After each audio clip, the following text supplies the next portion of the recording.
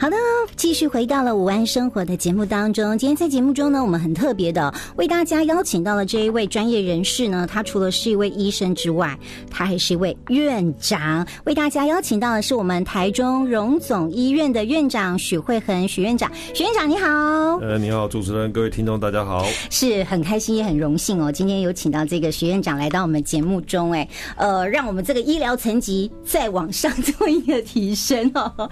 好，我觉得说这么难得啊，请到这个许院长，我们先跟大家来介绍一下这个许院长。许院长，您的专长是在这个糖尿病新陈代谢这部分嘛，对不对？哈，是。嗯，糖尿病，我记得我在很多年前的时候啊，可能在那个时候癌症还没有数字长得这么快，也没有像忧郁症啊这些的一个文明病的时候啊，那时候就有讲到说，糖尿症有可能是在二十一世纪，它会是一个大幅性的一个比较严重的一个疾病。可是后来可能是不是因为那个医疗？的进步，我觉得糖尿病目前还算是普及了哈，可是好像在治疗上已经获得比较好的一个控制了，是这样子吗？呃，糖尿病的人口其实，在台湾，在全世界也是都快速成长。对，在我们学会的估计啊，目前在台湾罹患糖尿病的人数已经超过了一百八十万。哇，好多！所以随着整个人口老化啊，整个生活形态的改变，其实我们预估。罹患糖尿病的人口还会持续增加，还会持续的增加，只不过说它不像癌症是会呃致命率比较没那么高，是这样子吗？它是一个长期慢性的疾病。嗯哼。那事实上，根据国民健康署的统计，我们国人的十大死因里面呢，糖尿病一直是排名在前五名啊。所以事实上也是造成后续啊，如果没有好好控制后续的各种。大血管、小血管的并发症，OK，其实影响也层次也是非常大，也是很大的哈。所以大家也是要正视这样子的一个问题，对不对哈？那刚才我们院长有讲到说，糖尿病它是一种慢性病嘛，对不对哈？所以如果说一旦你来到了这个学院长的门诊的话，你可能就会跟他做长期的好朋友，是是是，没错，因为要做长期的一个控制哦。不过呢，就像我刚才讲的说，因为我们很难得呢，为大家邀请到我们台中荣总的院长来到我们节目中，我先跟大家介绍一下我们学院长的背景哦。他在很多这个大学其实都有担任这个教授，曾经在阳明大学嘛、国防医学院，还有国立中心大学、中山医学大学都曾经有担任过这个教授，或者是说现任的教授。所以，嗯，您在这个医学界其实已经算是资历非常的。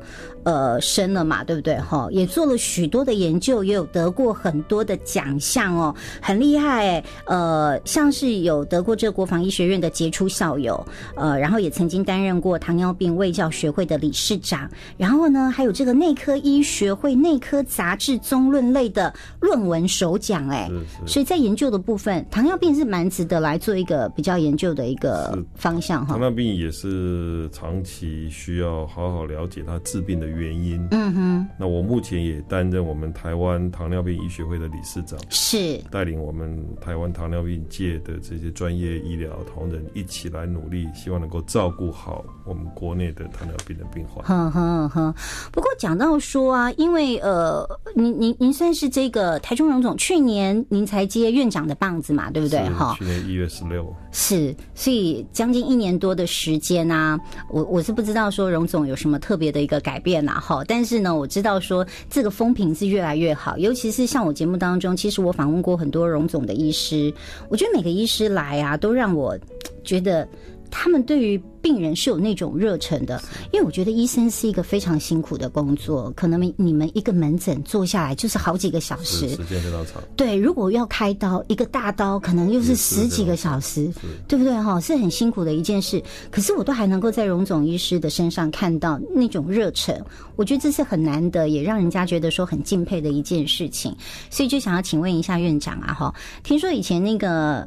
医院接院长大部分是属于外科医师吧？哈，呃，目前内科医师有一部分接了大医院或医学中心的院长，也是也是有是。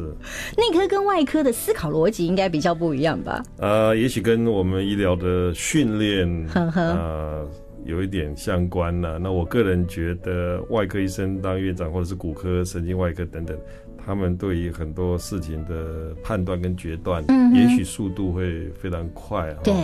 那内科医师的训练就是我们从周延性全盘的考量，所以我们有时候也会。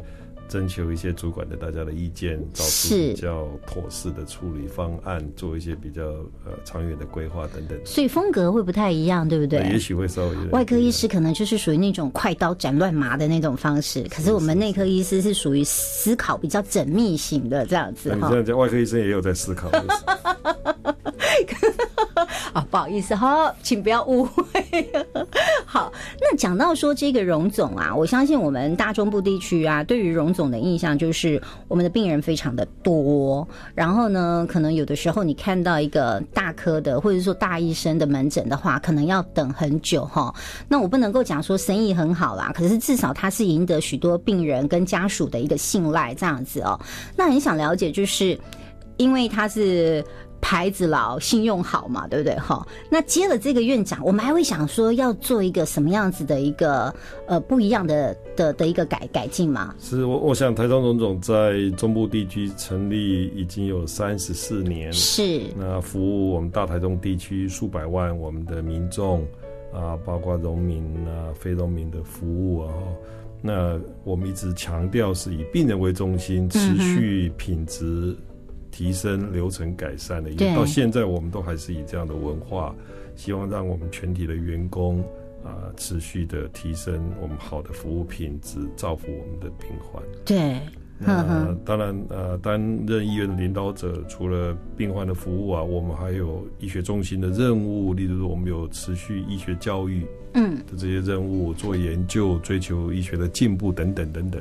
那这些都是呃，我们全体同仁大家一起努力在做，还是要当这个龙头这样子的一个地位在嘛？以这样期许啊，秩序这样。OK OK，好，因为就是请到院长来，我们总是要跟大家来介绍一下哦，这个院长的一些基本背景啦，还有他在这整个的带领这样子的一个医疗团队，他的一些想法。好，接下来我们就要进入到今天的主题了哦，因为我们院长呢，他是属于这个糖尿病的权威，还有新陈代谢科，其实我。我我先跳脱到那个新陈代谢科啊，我记得前几年新陈代谢科啊，哈，其实还蛮受欢迎的。因为如果说你想要减肥的话，可以来看这个新陈代谢科，是这样子吗？呃，其实减重也算是我们新陈代谢科服务的范围之一。嗯呵呵，我们希望大家都可以有健康的那个身体，是呃，持续做好的饮食控制，规则的运动。保持理想体重，这个也是我们期待跟大家一起来努力的目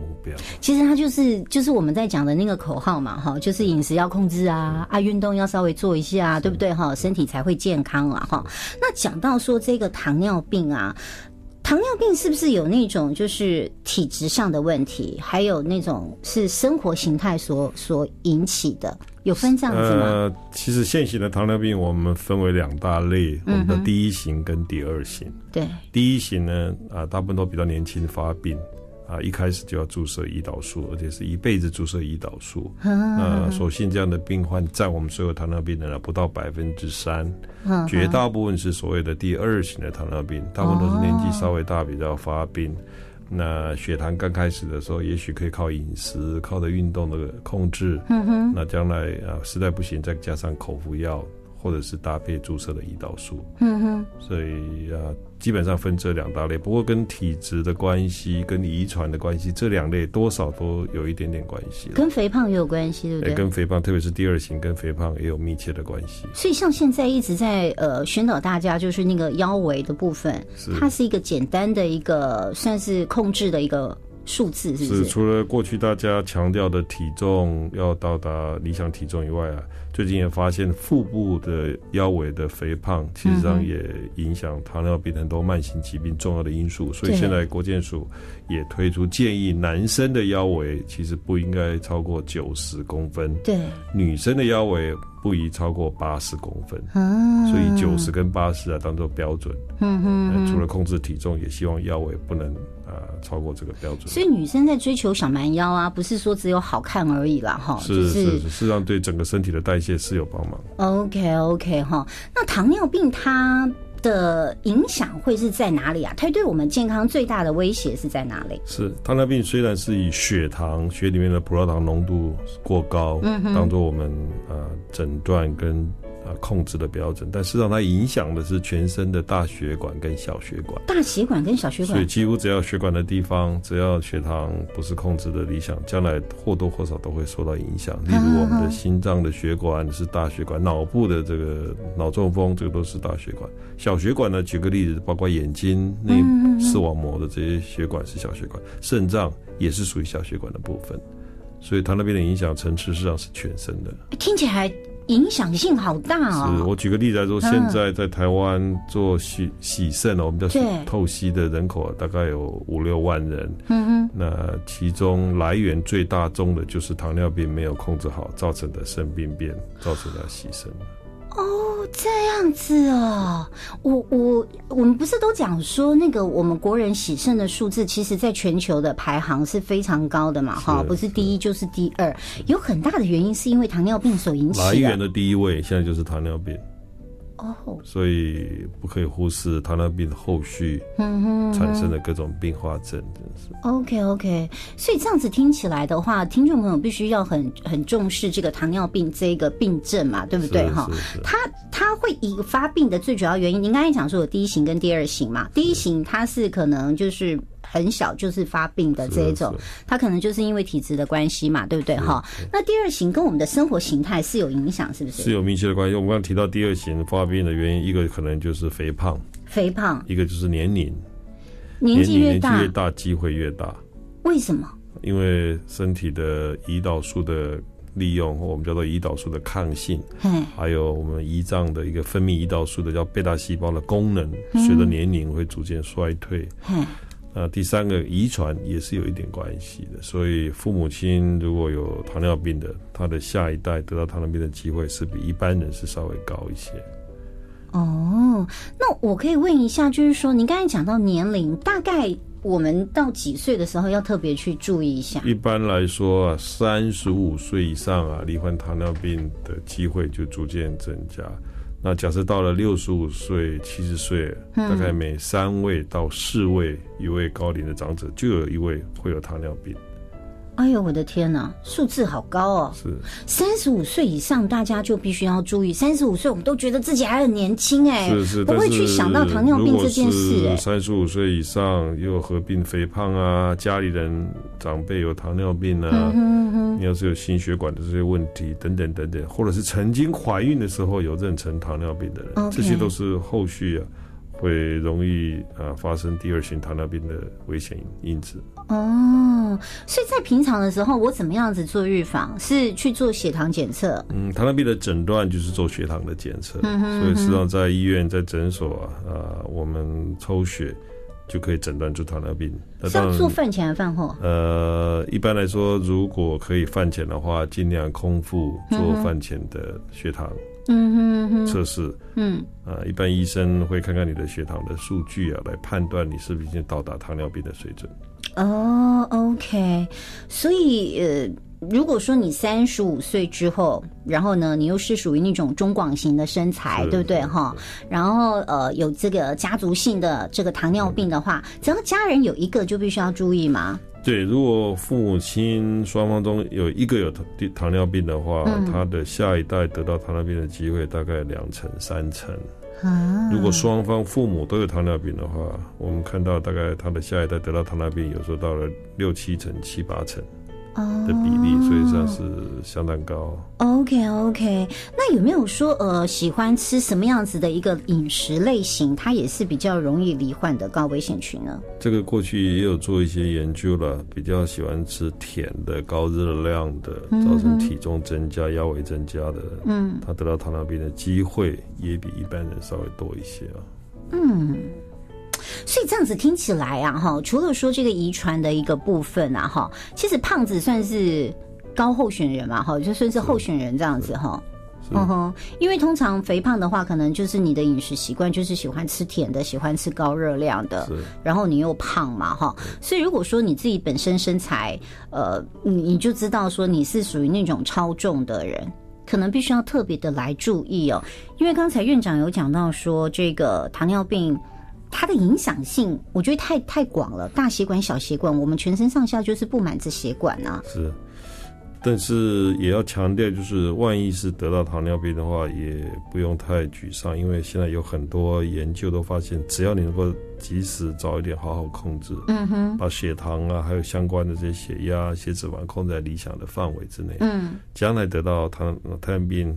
并发症的机会会大大的减少，大大的减少。哈，好的，讲关讲到说有关于这个糖尿病的一个控制啊，还有预防啦，还有在治疗的这部分呢，其实它又是一个很大的议题哦。我们先跟这个许院长呢聊到这边，有关于接下来这个话题呢，我们就在明天的节目当中跟大家来聊。今天非常谢谢台中荣总医院的院长许慧恒许院长来到我们节目中，谢谢。生活就是行动，跟着午安生活一起动次动次。噔噔噔噔噔噔。